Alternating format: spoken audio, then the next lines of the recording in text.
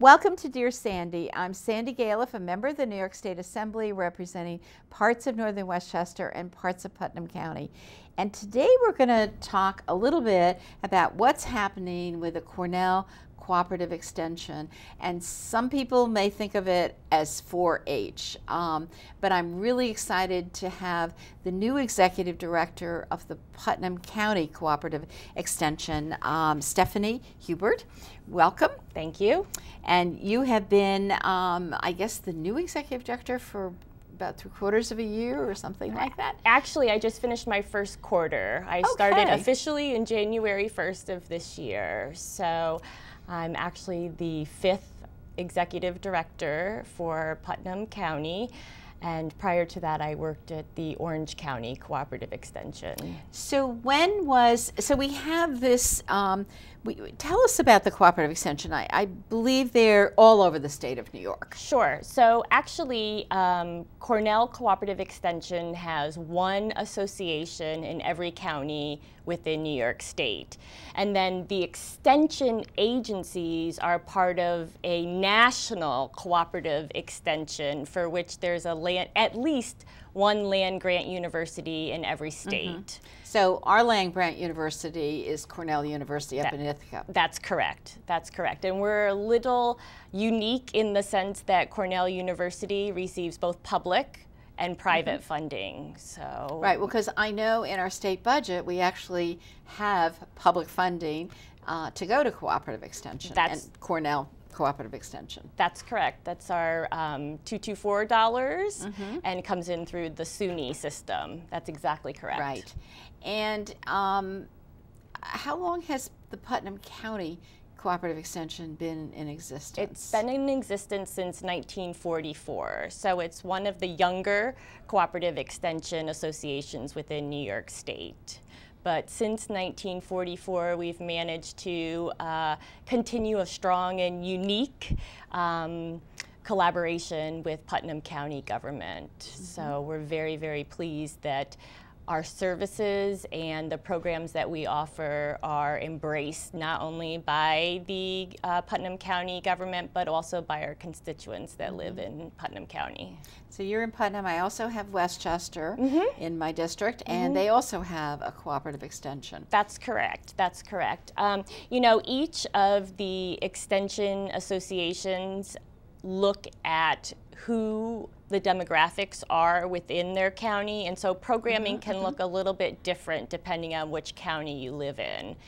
Um, in Putnam County, we concentrate on 4-H programming as well as um, horticulture and natural resources. And so in Orange County, for instance, where I came from, we also had um, family consumer sciences in addition to 4-H and agriculture. And in Westchester, you also have a, a huge 4-H program. So, you know, it just, it. You really have to look at the people that you're serving. Exactly. And I suppose what they're, well, what their interests are, but you might try to interest them in something that they should be interested absolutely, in, I suppose. Absolutely. So, you know, we pride ourselves on um, responding to emerging issues, and part of what we're really good at at Cooperative Extension is really doing needs assessments. So, where are the deficits in the county? Um, where are the issues that need to be addressed? And we're very fortunate that we have all types of researchers and professors at Cornell University that take a look at the problems. They, they provide us with research and evidence-based solutions, and then we're sort of the outreach arm of Cornell Co-op mm -hmm. or Cornell University when we take that knowledge and research back to the community. So um, if, if the researchers, I really didn't know that. Um, so you have researchers at Cornell, mm -hmm. and, if, mm-hmm. and if they think that an area really needs um, more focus on dietary issues mm -hmm. and maybe, you know, farm to schools, uh, getting the fresh produce in the schools, mm -hmm. they would identify that. It, I, it probably is a problem all over the state. Yes. so yes. I'm not not fine tuning Putnam, but I suppose that's what they come up with statistics. Absolutely, absolutely. So, for instance, we'll take, um, and, and, your points are absolutely valid. They're they're much more universal than something mm-hmm. like when Lyme disease maybe moved over mm-hmm. from Connecticut into Putnam County, and then up at the university, those professors that had an extension appointment started focusing on hey, there's an overabundance of ticks in the area, people are getting bitten, and then provided us with that research based information to protect ourselves, to mm-hmm. Deplete the tick um, populations in the area. So, yes, anything like that. Mm-hmm. I know I've seen pamphlets that you've had. Um, you know, to, to deal with the tick issue. Mm-hmm. So, uh, and and not all the state of New York does have a tick problem. Correct. So, um, and I and I guess we probably have the tick problem this summer, don't we? Is it know, going away? you know what? I've already picked two ticks off of me and a few off my dog. So yes, uh, they're coming. They're fast and furious. Right. So that that happens. Um, let's uh, let's talk about. I mean, the, the, the, part I guess I love the most about cooperative extension are plants. Okay. Flowers. Sure. Um, you know, I, we'll talk about vegetables too, we, but um, I'm, I'm one of these gardeners and I'm a gardener with flowers. And I know you have a master, I've never been a master gardener, but you have programs that really, I assume you have programs for young people just mm-hmm. to, to, get them to love planting and mm-hmm. flowers and so on. Mm-hmm. And then you have it for more experienced people. And so, so you have gradations of, of how you train people and teach people? Sure, sure. We have programming that reach all um, avenues on the spectrum, on the continuum. We have definitely gardening for young children, and we have novice adults, and then we have experienced adults. And so, gardening and horticulture are really one of the more popular programs that we have at Putnam County. Mm-hmm. And um, I think you were um, starting to comment on the Master Gardeners. And mm-hmm. the Master Gardeners are a cadre of volunteers. Uh, currently, we have 86 of them, and they go through a, a very intensive learning year, if you will, to really gain that knowledge to be called master gardeners. And then our Master gardeners do things from manning our garden helpline, so mm-hmm. people can call in or email with any questions that they may have related to their soil or flowers. Um, they can bring uh, foliage and vegetation into our office to be identified. We have lots of community service pop-up activities across the county, Ask a Master Gardener. Mm-hmm. Um, they really are, you know, they allow us to be able to reach more constituents of Putnam County. So it's a train the trainer mm-hmm, model, mm-hmm. if you will. So they can probably look at a plant and say what the name of that plant is. They sure probably. can.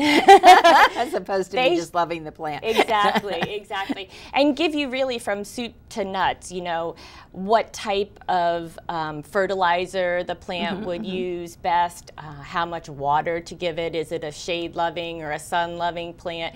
Really really all the intricacies to really grow that plant accordingly. Mm -hmm. Now, you, you mentioned that you have headquarters someplace. Where where does one go? You know, if they have a leaf, if they've got brown spots on their plants and whatever, want somebody to look at it. Sure. Uh, you have a place for people to go. We absolutely do. So, uh, Cornell Cooperative Extension Putnam's County office is One Geneva Road in Brewster. So we're up by the DMV and the Department mm -hmm. of mm-hmm. Health. Right. Good, and good location. Yes, and good our location. office hours are nine to five, and when we switch to summer hours, it's eight to 4 mm -hmm. So, but always call ahead of time. Make sure there's a master gardener or an educator in the office. There usually are, are but you never know when someone mm -hmm. gets called out, and we're happy to identify, provide information, whatever needs to be mm -hmm. done. So, do the master gardeners also get involved in fruits and vegetables? Or is that a different category? They can. Uh-huh. They can. Master gardeners uh, really are able to gain additional information in the areas that interest them. So we have master gardeners who are experts on native plants. We have mm-hmm, master mm-hmm. gardeners that are experts in perennials who fruit trees, but we mm-hmm. also belong to um, a, an additional part of cooperative extension that is the Eastern New York uh, horticulture. And so we have experts all the way up from Albany to uh, the Canadian border, and they provide expertise in fruits and berries and mm-hmm. trees and those types of issues. So if someone comes to our extension or phones in and we don't have the exact answer, we know exactly mm-hmm. where to mm-hmm. go to mm-hmm. get the answer. Right. Um, and so you said that it would take somebody almost a year to become a master gardener. It takes a while, a it lot does, of courses. it does. Courses. It does. I, I, think there's like 19 or 20 modules, and really, mm-hmm the the educate or the volunteers that go through the master gardener training it's it's like a, a college course really mm-hmm, there mm-hmm. there's homework they have to give presentations they they need to have so many hours where they're answering calls and doing some research it's it's really a wonderful but laborious process mm-hmm. and once you become a master gardener you're in for life. Seriously. Oh, I admire them when I hear that they are. you know, I think we had talked about before, one of the questions came up as to the longest uh, volunteer.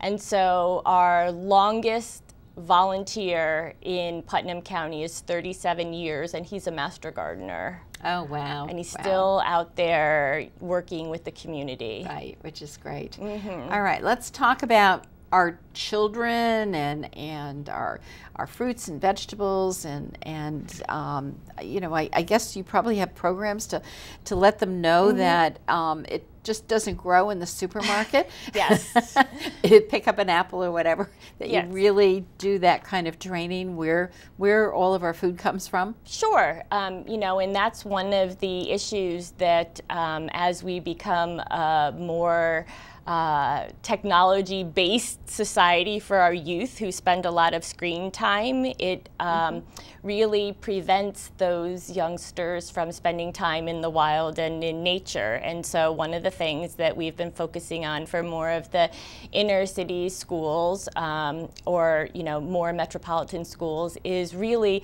learning where your food comes from. And that could be as simple as taste testing. Have you ever had this before? Do you mm-hmm. even know what it is, to um, starting a school garden, working with mm-hmm, the school mm-hmm. personnel, to teaching um, programs out in the community. And, and, one of the programs that has happened over the last couple of years in Brewster is called From Seed to Supper. And it is a nutrition education and gardening combined program that work with um, families and youth together mm-hmm. to grow and learn about the food and nutrients, and at the end of the program, what they grew, they harvest and they mm-hmm, eat as mm-hmm. a meal.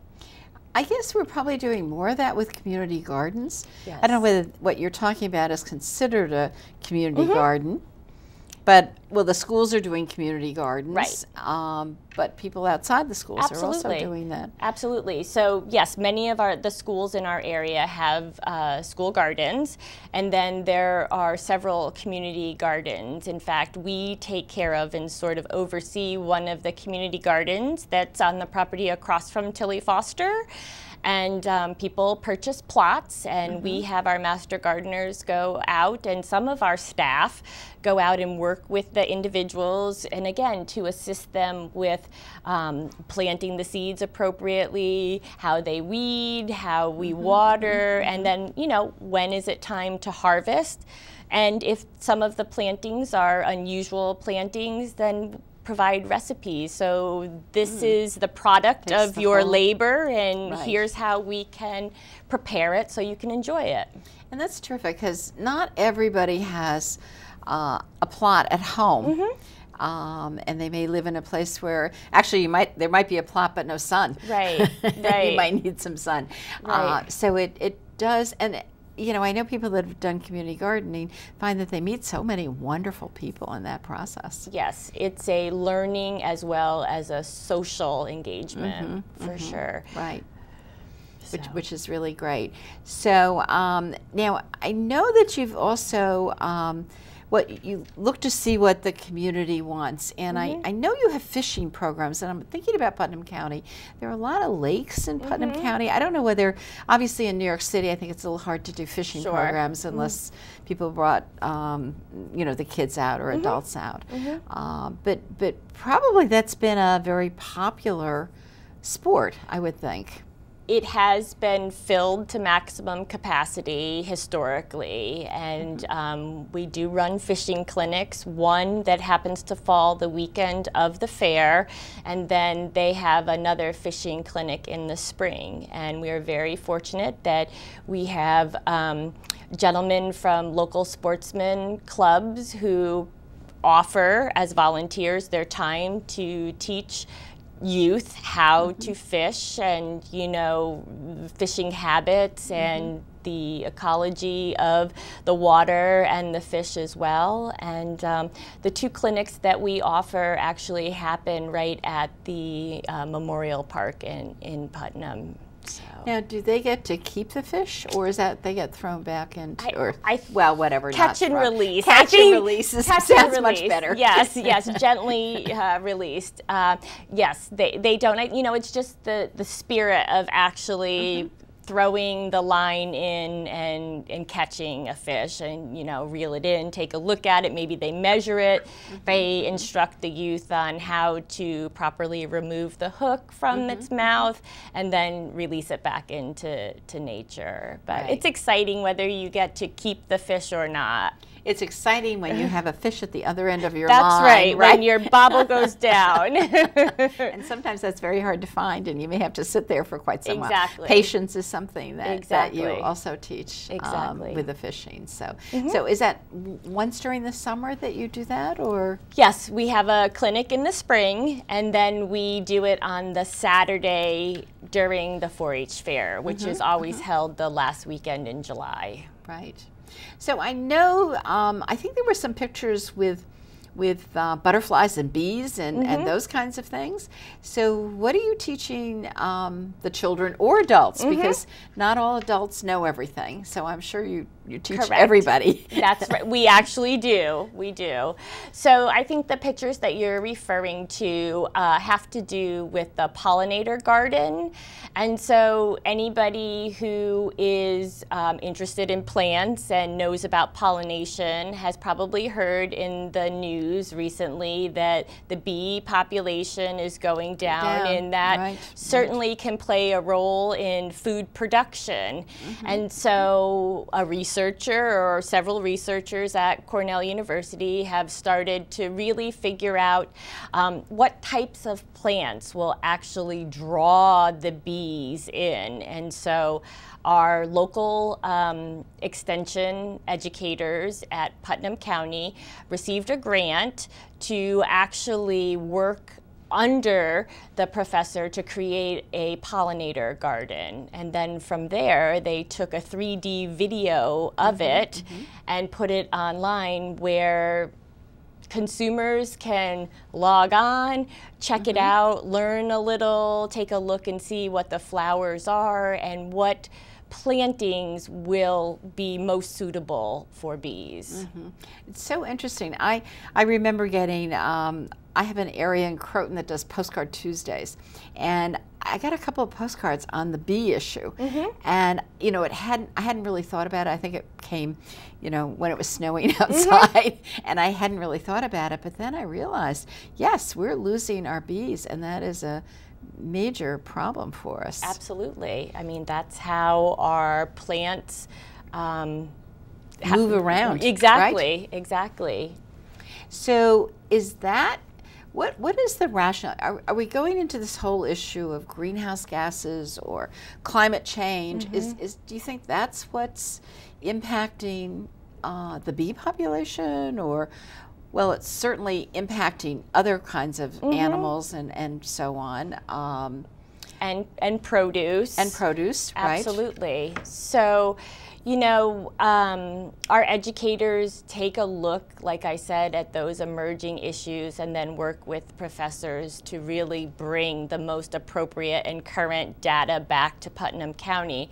Some of the programs that our educators have been working on specifically for climate change are programs called Climate Smart Communities, mm -hmm. and that is where businesses, local businesses, um, and communities, including agriculture, really receive information and knowledge to assist them if a severe storm comes.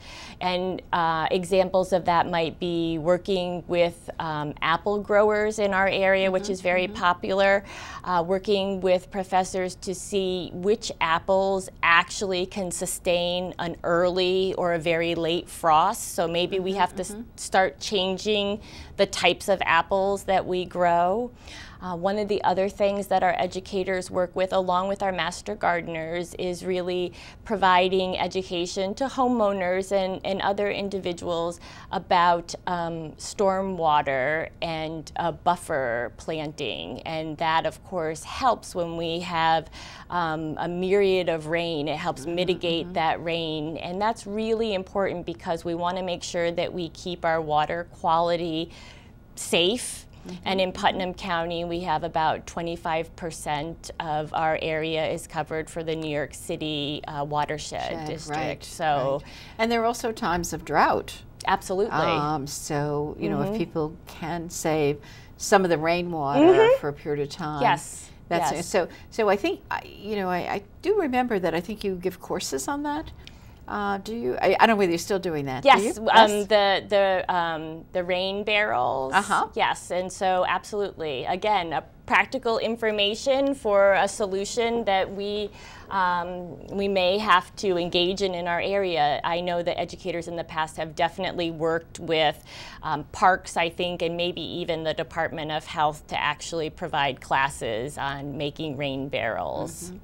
Well, I, I tend to think, or if the science says that we, we are having hotter, we're, we're Mm -hmm. our mm-hmm. degrees are going up, mm -hmm. um, you know, slightly every year. Mm -hmm. But mm-hmm. after a while, that's I keep thinking that we're going to be having the same plants that South Carolina has right now at some point, and that may be true. You, you, probably are not far from the truth, and you're absolutely right. Even though it may be a small increase in temperature but over time, it really adds up to degrees that perhaps we in the Hudson Valley are not used to. And so, yes, when you mm -hmm. look at where our growing areas are, we might be looking in the next, you know, two decades or so at plants that that would be further south, mm -hmm. would be the mm-hmm. norm.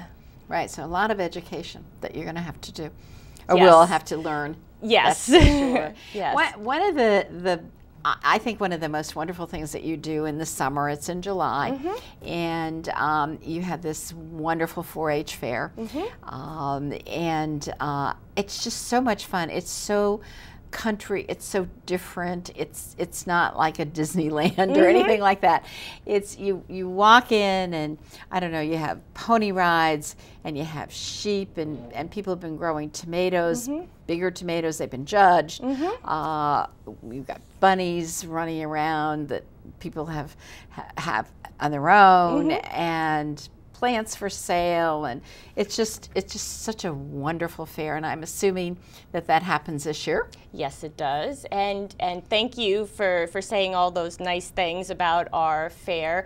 We do um, really appreciate the fact that people come out year after mm -hmm. year after year because we are a true wholesome agriculture good old country fair. Right you know, without the rides or mm -hmm, anything mm -hmm. that that um, other uh, types of events might have. And so the fair this year is the 26th, 27th, and 28th of July. It's always the last weekend in July, and we anticipate again this year having a very successful fair. Right, and I know that you have, um, well, sheep, uh, llamas. I mean, I guess every year might be a little different. Depending on what animals we can secure. But Right. yes, we've had llamas in the past. We're hoping, uh, we have a great partnership with Green Chimneys, and we're hoping that their camels are well this year so we can bring Oh. camels to the Were they fair. not well last year? Th- apparently they weren't. I just learned this. They had a little stomach virus. Uh-huh, so, right. um, but yes, rabbits and and uh, goats and sheep and cows and pigs and Mm-hmm. horses. Yes, chickens, all types of poultry animals. It is definitely what you think of as a good old-fashioned agriculture fair. And what's so wonderful is that the young people involved with 4-H are there often explaining um, yes. their pet or what they've done or their project or their report. Um, and it's just it's you know it's wonderful for all ages actually uh, to attend. So I would encourage everybody that's watching to to go to the fair. Absolutely, but you're right. It, the fair is really the showcase that provides the youth who have participated all throughout the year to to be able to show off their skills and everything that they've learned. When do we haven't really discussed, but when do these young people get together? Is it after school, weekends, summer, or all Right, of the so- above?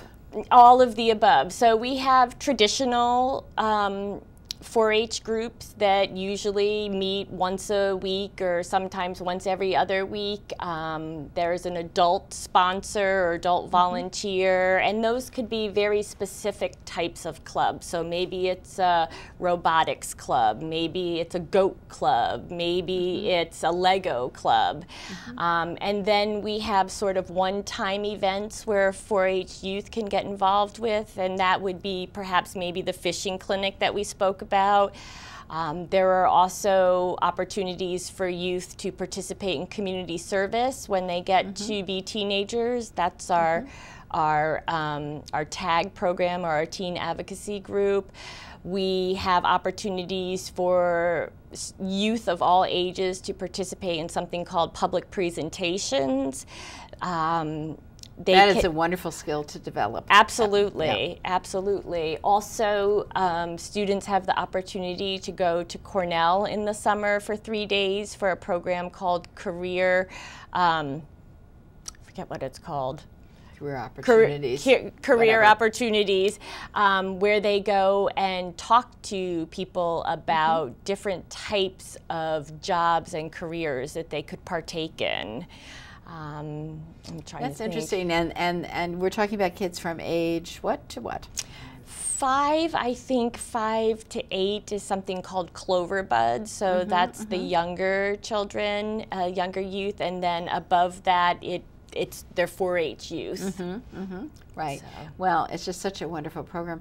Now, where can people um, contact 4-H so that, or cooperative extension, so that they can find out about all these programs? Mm-hmm. Sure. So our website is one place for them to go. They can call our office. Um, you know, they can they can pick up a brochure anywhere. But really, if they're really interested in participating in a class or to find out more information, then check out our website and to call us on our on our phone. Right. Well, Stefanie, I, I mean, you've just explored cooperative extension Oh. in such a great way, uh, and hopefully, we've gotten a lot of en- enthusiasm on the part of the viewers. And you know, whether you have want to go to the fair, be a master gardener, Mm-hmm. or uh, whether you want to involve your children or your grandchildren in this, it's a wonderful opportunity. Yes, so, it is. Thank you very much I thank. Letting us share. Right. I mm-hmm. thank you so much for being on the program. If there are any questions at all, please don't hesitate giving me a call at 914 941 1111. Thank you very much for watching. Have a good evening. Thanks.